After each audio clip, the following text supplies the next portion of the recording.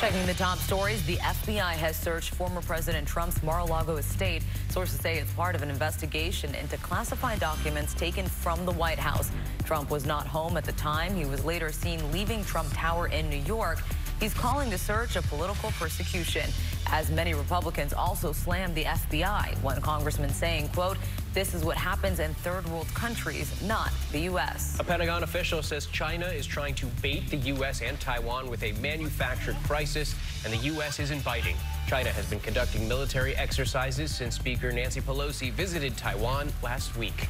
In Los Angeles, a nurse now faces six murder counts after this fiery crash last week. Prosecutors say she drove 90 miles per hour through a red light.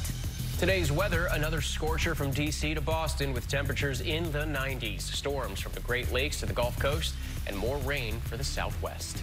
And finally, historian David McCullough has died at the age of 89. Will Ganss looks at his legendary career.